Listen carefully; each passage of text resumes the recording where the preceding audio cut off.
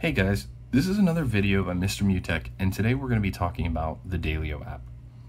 Okay, let's compare the free version versus the paid version, and then look at some of the features of this app.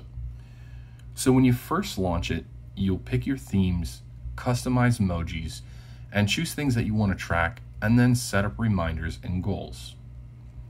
Okay, so this particular uh, tab that you're looking at is called the Entries tab it gives you an idea of how you're feeling on a daily basis, as well as even on an hourly or minute basis. It also provides information about your goals and things that you wish didn't happen, such as getting bad sleep or eating fast food. You can also look at the statistics of each of these items. It'll tell you how often you did certain things together. It also will tell you your average daily mood you can also look at your activity count to see which things you've been doing the most. You can also look at your goals, and then you can even look at your mood count so you can have an idea if you've been feeling better more often or worse more often. You can also look at achievements, and you can look at a mood chart just so you can see if there's a specific pattern that can be found as to why you're feeling a certain way. The other thing you can see is a longest chain, which is a goal that you have set that you've reached or accomplished in a consecutive period of time. Okay, now let's look at the calendar. This is a basic function that allows you to add entries in case you miss them.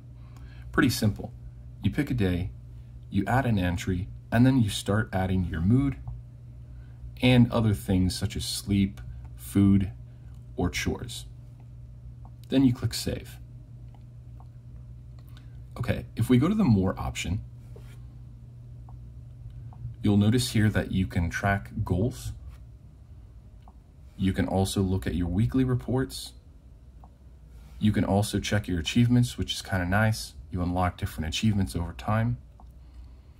And you can edit moods and edit the design and color of the app and functionality.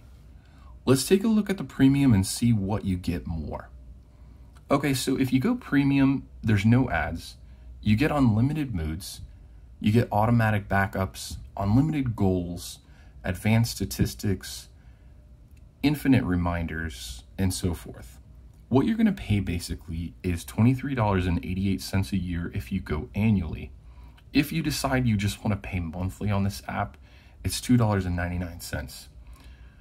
Whether that's worth it or not is up to you.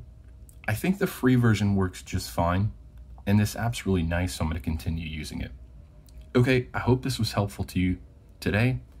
Um, thank you so much for subscribing, and hit that like button if you found this video helpful. Have a good one.